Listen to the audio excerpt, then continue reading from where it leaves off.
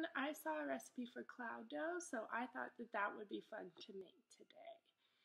Um, it's really easy, and all you need are two cups of flour and one cup of um, cooking oil, olive oil, baby oil, whatever you have in your house.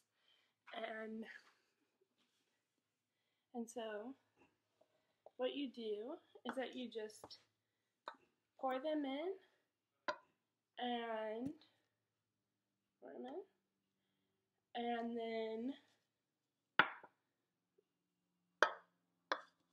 and then mix it all together. And then you should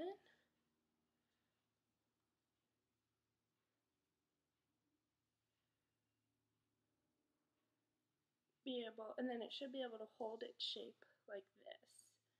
And then I made a little snowman with my cloud dough. And I'm wondering what you guys will make with yours. Alright, bye.